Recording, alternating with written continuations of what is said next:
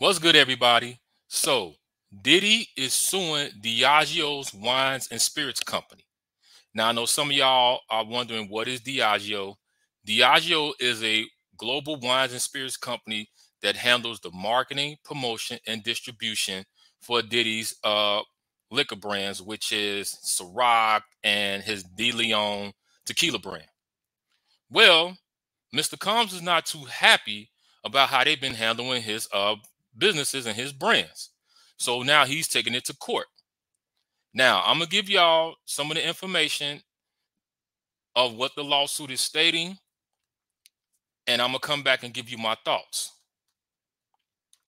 So, according to CNBC, it says Sean Diddy Combs is suing multinational spirits giant Diageo for alleged racial discrimination in the handling of his vodka and tequila brands which Combs claims the company typecast as black brands.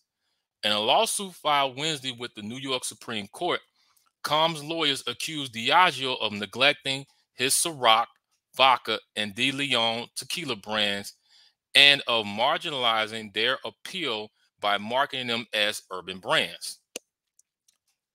Diddy also claimed that Diageo sabotaged his De Leon tequila brand with shouty packaging that made the product look cheap, while showing other celebrity brands such as actor George Clooney's Casamigos tequila more attention and resources. Diageo acquired Clooney's Casamigos in 2017 for 1 billion. It's the top selling US tequila brand representing 12.6% of tequila sales in the U.S. retail stores. Combs Wines and Spirits entered into a equal partnership with Diageo back in 2007 for the marketing promotion of Ciroc. Following the success of the partnership, Diageo co-purchased the De Leon tequila brand with Combs back in 2013. According to court documents in 2022, Don Julio was distributed in 36% of retail outlets, compared with 34.4% for Casamigos and just 3.3% for Combs de Leon. Combs claims that his brands have been starved out of production, distribution, and sales resources. And also that Diageo executive Stephen Rust told Combs in 2019 race was among the reasons why the company had limited its distribution of De Leon and Ciroc. If Combs Wines and Spirits were owned by Martha Stewart, his brands would have been distributed more broadly, Rust allegedly said, according to the lawsuit. Now, that's what Combs and his lawyers are saying what Diageo did. According to Diageo, of course, they're going to say something different. Diageo's uh, response is our steady, fast commitment to diversity with our company and the communities we serve is something we take very seriously. We categorize we categorically deny the allegations that have been made and will vigorously defend ourselves in the appropriate form.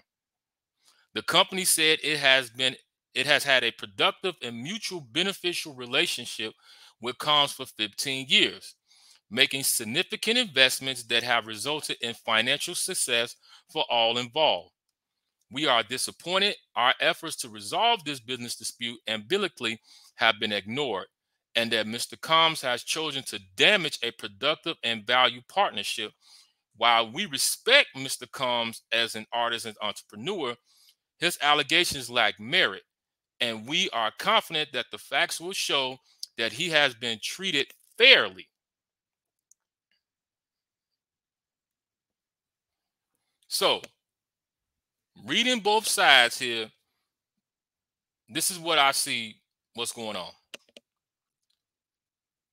When Combs, when Diddy, sorry, first started out with Diageo and started promoting Ciroc, let's just be honest. The promotion for Ciroc was crazy. You saw it on TV, you saw it on the internet, everywhere. Ciroc was out there, it spread it like wildfire. from your mother, brother, sister, cousin, everybody was buying Ciroc. Even if you wasn't black, other races of people was buying Ciroc. You know, now I give Diddy credit. Diddy can market the hell out of a product that he can do.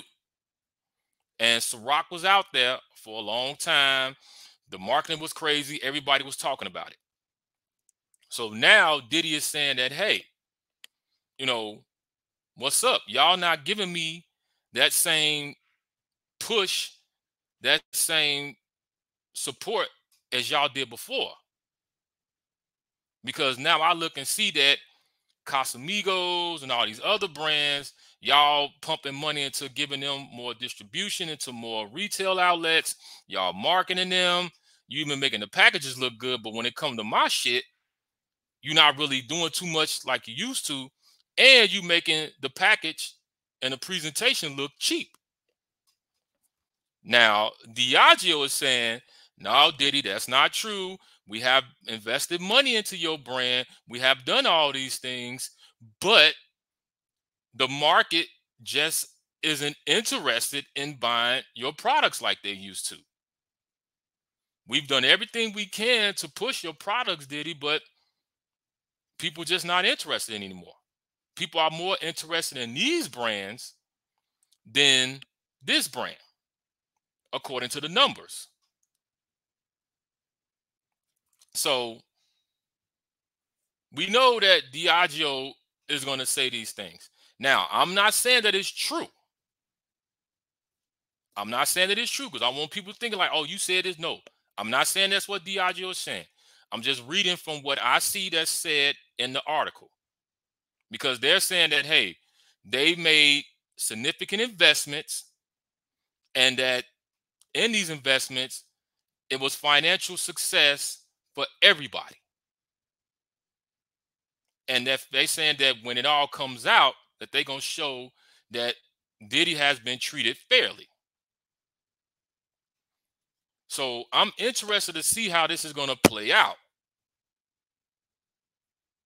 Because he's pretty much saying on one end, like, okay, it's racism, and saying that this guy from the company told him that, you know, hey, race does play a prob a, a part in this because if you was white, then we will be giving you more promotion and more support. But unfortunately, you not. So we're not doing that. Now, I don't know if that's true or not, too. Because when I read that part, I was like, man. So basically, they told him if he's not white, since he's not white, they're not giving him that push. And you read that and then you think about it like, okay, wait a minute. Because,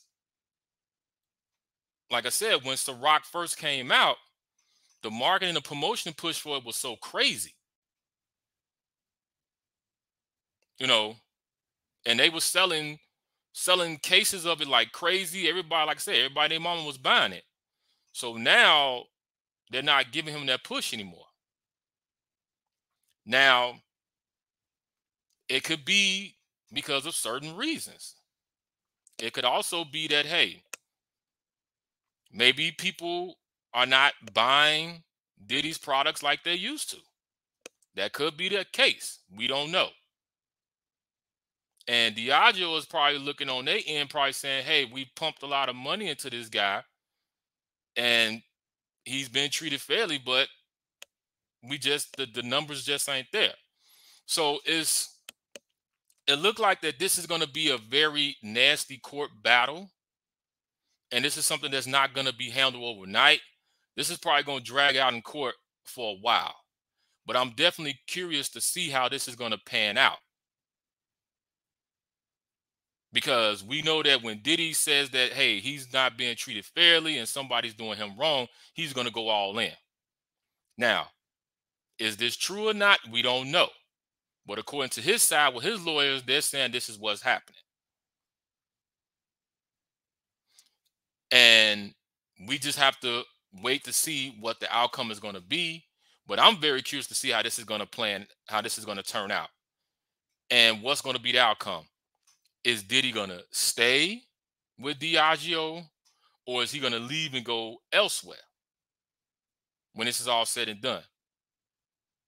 Because when it comes to lawsuits, the thing about lawsuits is that lawsuits are very nasty. And a lot of times when it comes to suing companies, when that lawsuit is over with, they just say, hey, you know what? Let's just go separate ways. You know, we'll pay out whatever this contract will sell the business end of it, and then you go your way, we go our way. That's it. So that's going to be the interesting uh, part that people want to see. Where's this lawsuit going to go, and how is it going to? Uh, what's going to be end result? How it's going to pan out? So I would definitely keep you guys updated on this and let you know what's going on. But you all tell me how you feel about this. Diddy is suing Diageo, claiming racial discrimination and handling his products with shitty care. So I want to hear from you guys. You guys tell me how you feel about this. Uh, do you feel that Diddy is right for what he's doing? Do you feel that he's wrong in what he's doing? Do you feel what Diageo's saying is true, or do you feel like they lying? I want to hear from you all. Let me know. And until then, stay tuned.